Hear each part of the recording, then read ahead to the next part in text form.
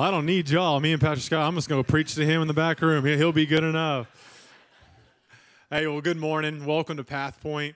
I'm really excited to be with you today.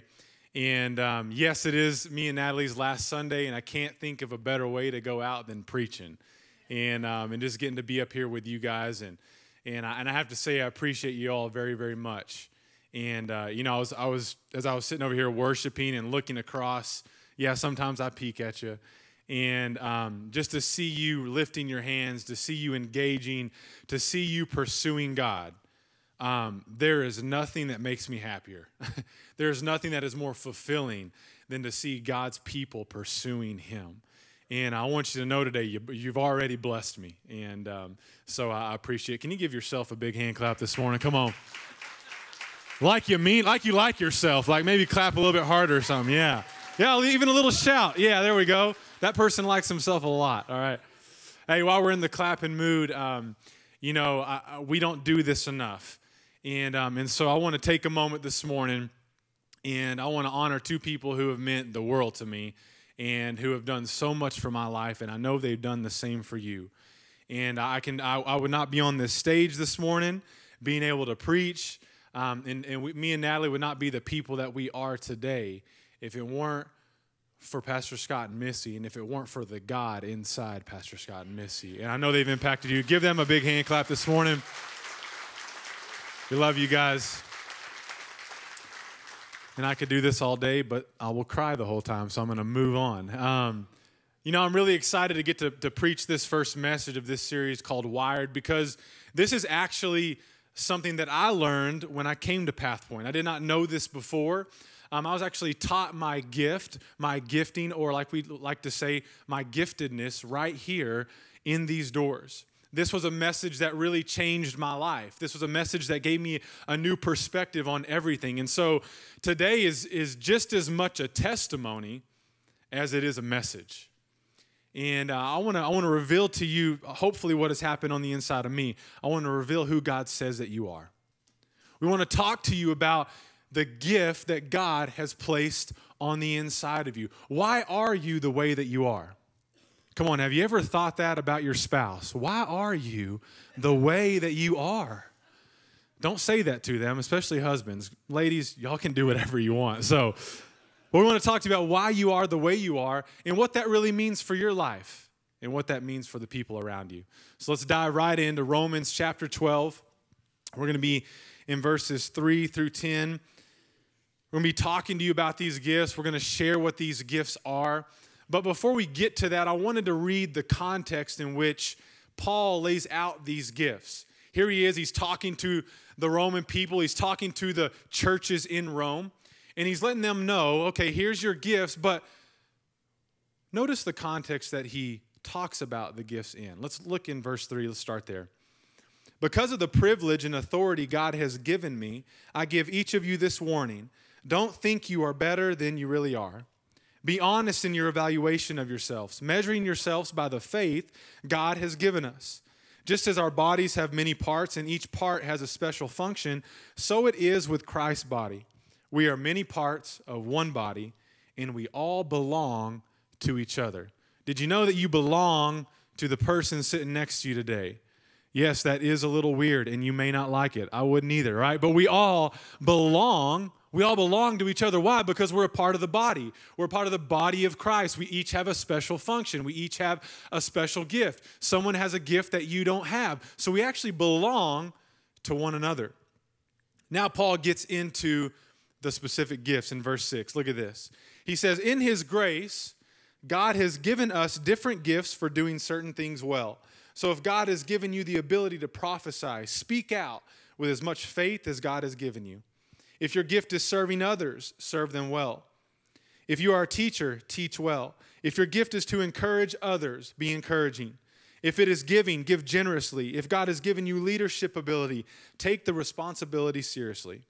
And if you have a gift for showing kindness to others, do it gladly. Verse 9 Don't just pretend to love others, really love them. Hate what is wrong, hold tightly to what is good. Love each other with genuine affection and take delight in honoring each other. Some good stuff right here, huh? I want to title today's message Gifted. Gifted. Let's pray. God, we thank you. We thank you for this time. We thank you for this moment. This is your moment. This is a time where we can come and pursue you. And God, I'm asking that we hear your voice. I'm asking that you speak loud and clear. Holy Spirit, lead and guide us in this session today. Give us wisdom, give us understanding where we need it, God. And I pray that there will be revelation today, that there will be a revealing to your people of who you've created them to be. And we thank you for it in Jesus' name. If you agree, say amen. Amen. Amen. amen. How many of you have ever seen uh, the TV show America's Got Talent? Anybody ever watch America's Got Talent? Raise your hand, hoop and holler. Come on. All right, so a lot of you, yeah. Many of you have seen this show. If you haven't seen it, it's really simple. America's Got Talent is just one of those other talent shows, all right? People get up, they perform their talent, they either sing, they dance, or do really weird things on the stage, and, and they get up and perform. They have a celebrity judge panel, and they decide, hey, you make it to the next round. So it's just like any other show that you've seen on TV, America's Got Talent, right? But one of the things I love about America's Got Talent is they have the golden buzzer. Y'all know what the golden buzzer is? All right. So if somebody is like legit, if somebody's for real, all right, a judge has one time they can use the golden buzzer. They'll reach over, slap the buzzer. That sends that person all the way to the live shows, to the finale, right? Where they get to perform. It's all good. They get to skip all those steps. Now, I love this show because this is what I figured out about myself, okay? I love seeing people succeed.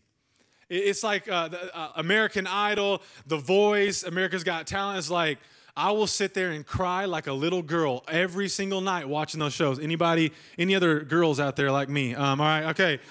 Right, I just, man, they just mean something to me. And it's because I love to see people just lay it out on the line, you know, lay it all out. Get up there. You can tell they're nervous. You can tell, tell they don't have very much confidence. You can tell they don't even think they're very good. And then they begin to sing. Then they begin to perform. And what happens? The fans begin to cheer. The judges begin to stand to their feet. And that's actually my favorite part. My favorite part is at the very end, they get done, people are cheering, people are shouting, and, it, and it's like these it's like these people they have this moment. They have this moment on stage where they think oh my gosh i'm actually good. I can actually sing. It's not just my mom who thinks that i'm good. I'm actually talented. I can do this thing. This is actually who i am. This is who i've been created to be. And you can see in that moment in their face because they, they're usually crying or they're so surprised Everything that they've done, everything that they've believed about themselves is validated in one moment. It's one moment of people cheering and be like, yep, you are good.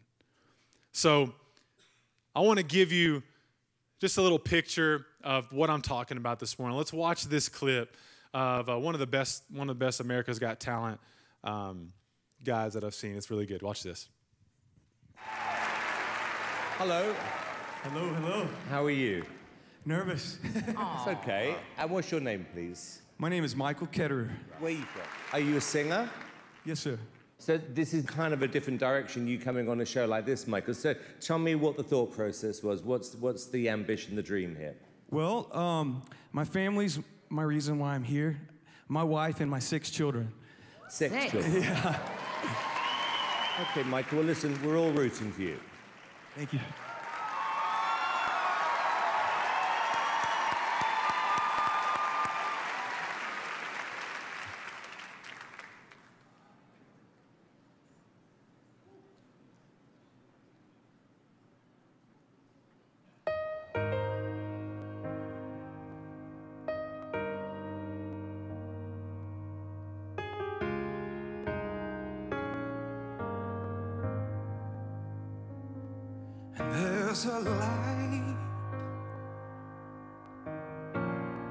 A certain kind of light that's never shone on me.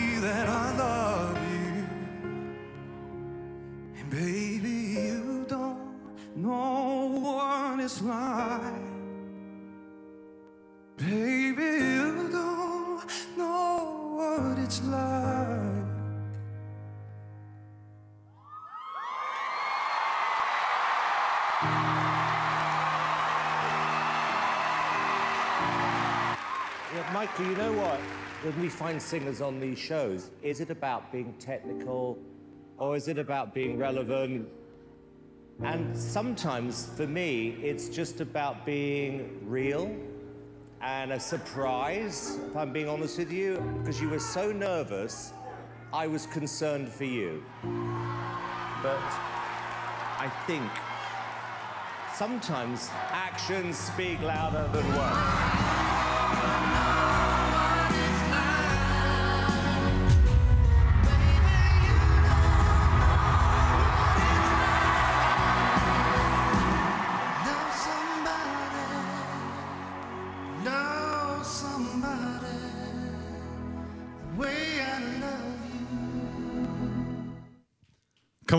Good stuff?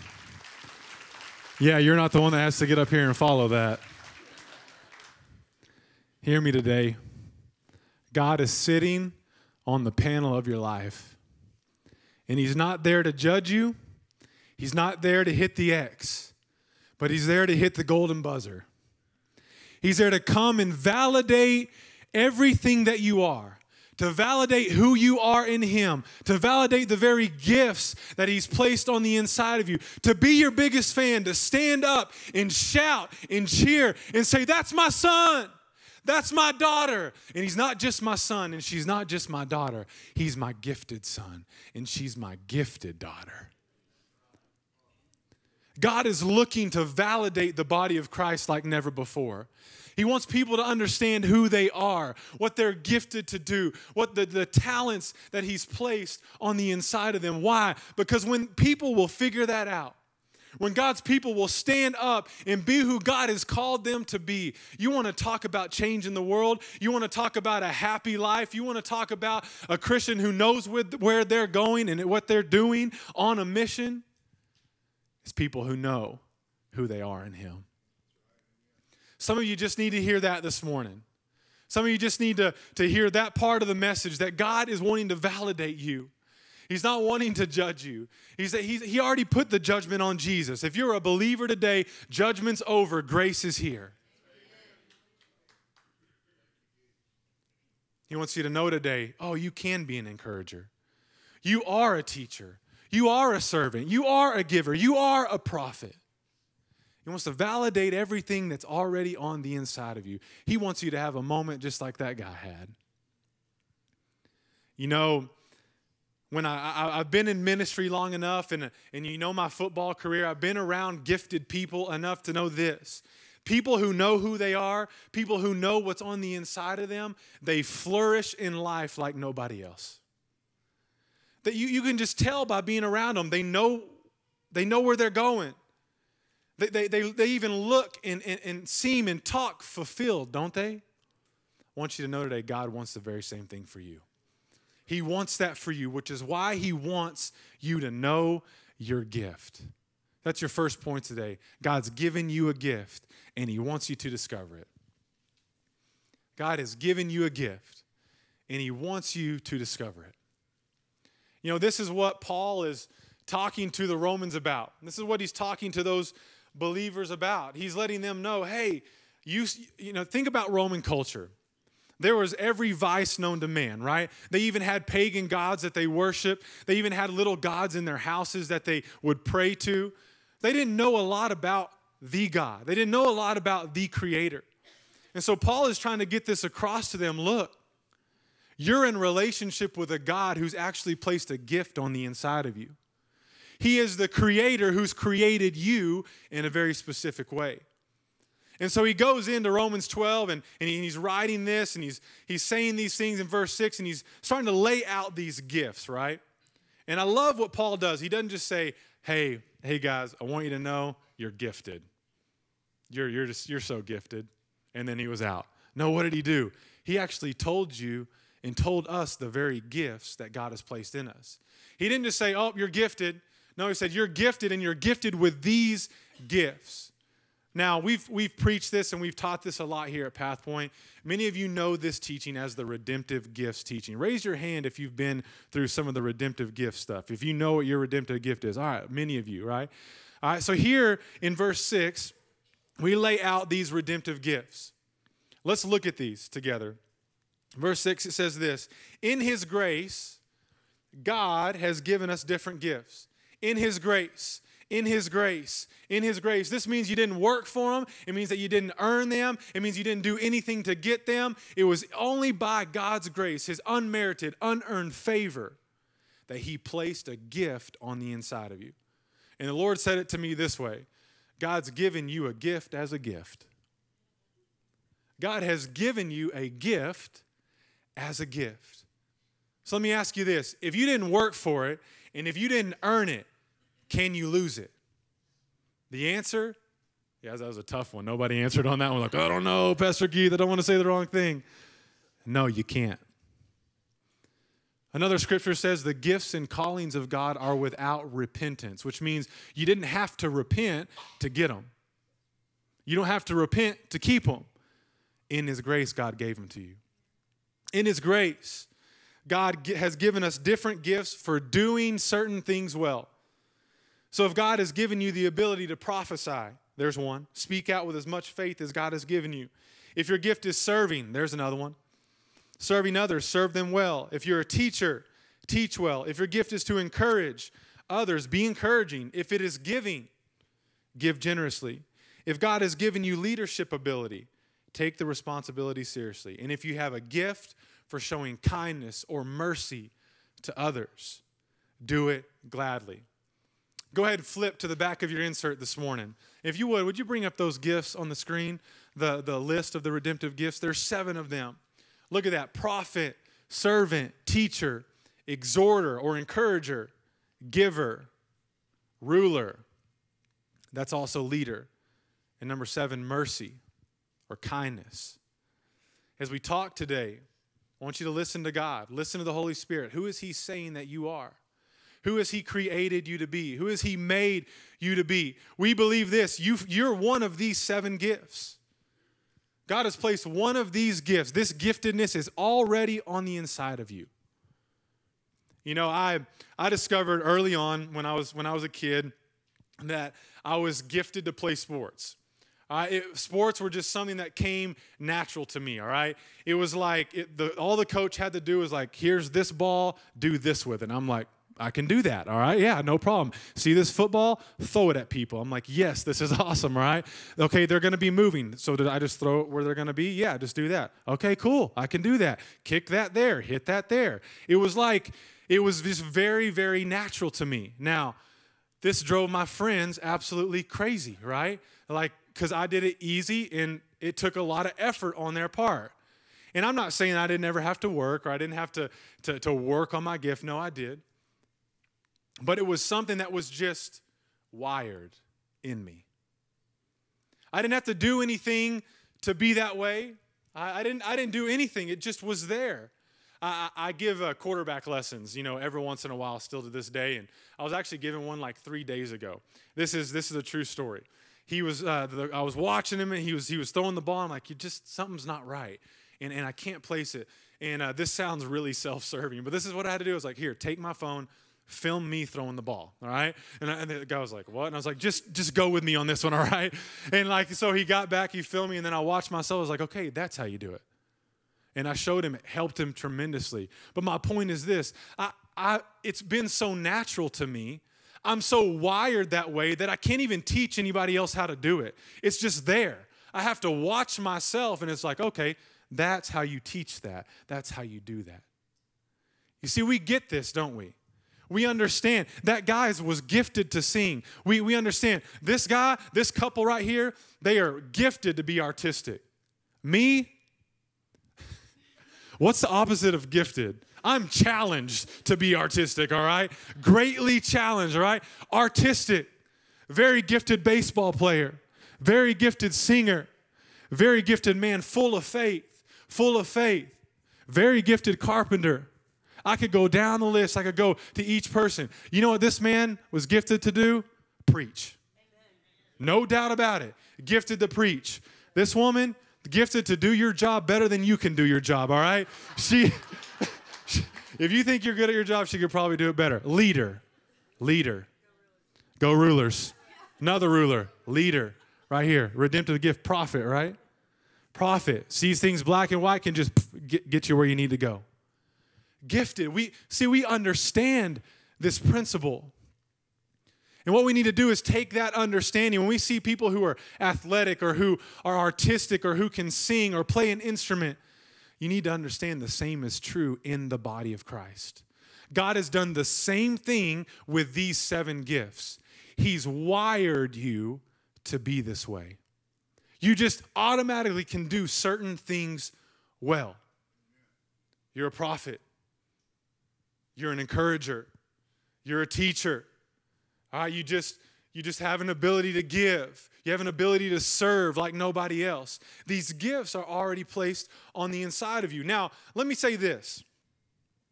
We've been talking and we've even watched the show America's Got Talent, right? I want you to know these are more than just a talent. These are more than just a gift. These are actually who you are. This is actually your nature. This is your bent. This is your personality. In other words, you, you, you don't just teach, you are a teacher. You don't just prophesy, you are a prophet. You don't just encourage, you are an encourager. Are you following me today, right? Uh, this is who you are. This is who God made you to be. It's deep down in your DNA. Everything you do comes out of this.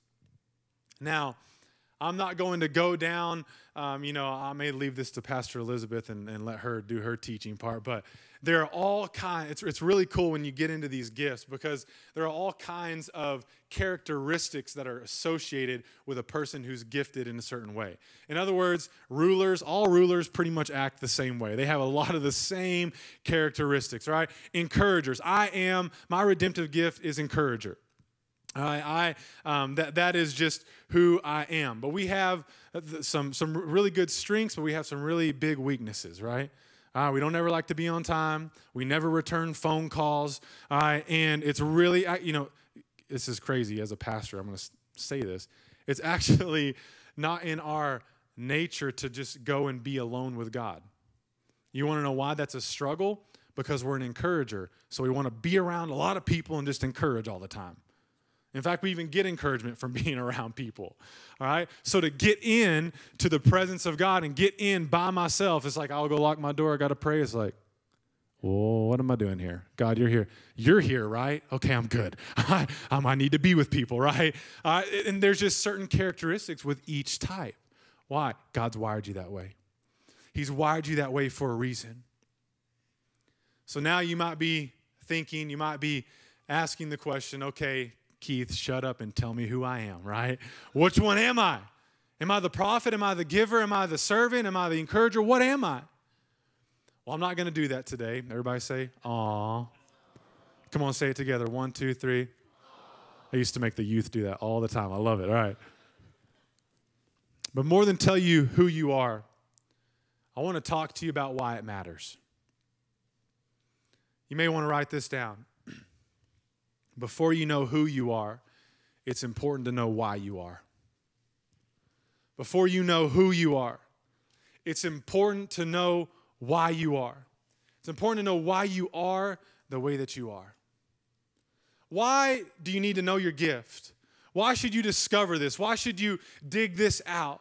What's the point? Why does it matter? Is it tied to your purpose? Yes. Is it tied to fulfillment in your life? Absolutely. Will it lead to you flourishing in life? Yes. But more importantly than that, I believe that you need to know your giftedness for others. This is the point. This is why you need to discover who God has made you to be. Yes, God loves you and He's so about you, but he, th- this is just how God works. He's so about you and He's so about others. Your giftedness is tied to other people. Look at the, look at the very nature of the gifts. Prophet. What does a prophet do? It gets words for other people. What does an encourager do? It, the gift was not given to encourage themselves, but to encourage other people. A teacher teaches people. A server serves people. A giver gives to people. You get it. The very nature of the gift says it's for others. Now, here's what's interesting about this. We read, you know, the whole verses 3 through 10. If you were to open your Bible today and look at how Paul wrote this out, you would notice that the gifts are like the meat in a sandwich, all right? This is how I think, okay, about food all the time, right? You look there, it's like, okay, here's the gift. What's surrounding the gift? Look at verses 4. Look what he says. Just as our bodies have many parts and each part has a special function, so it is with Christ's body. We are many parts of one body and we all belong to each other. So here Paul is before he ever gets into your gift, before he ever shares how awesome you are. What does he say? You're a part of the body. You belong to each other. You each have a special function. Then he goes into the gifts and then he ends with this. What does he say at the end? Don't just pretend to love others, really love them. Hate what is wrong, hold tightly to what is good. And I love this last part love each other with genuine affection. Love each other with genuine affection and take delight in honoring each other. You want to know how you honor one another? You use your gift for one another.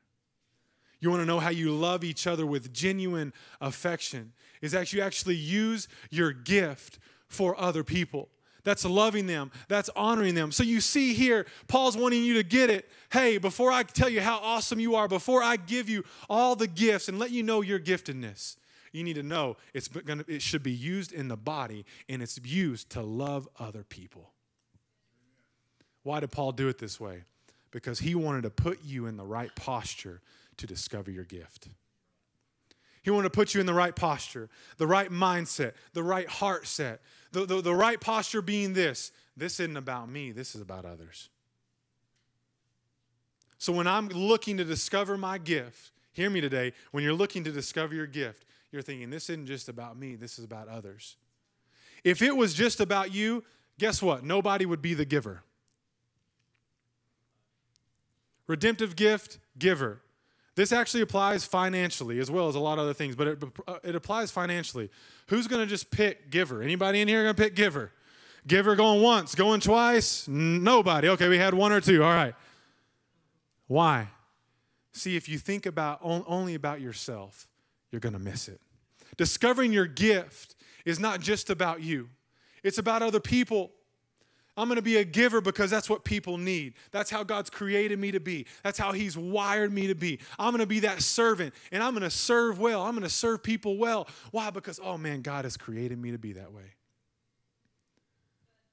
You know, it's funny. You watch that video, if you were to go back, you probably didn't miss this, but, or you probably missed this.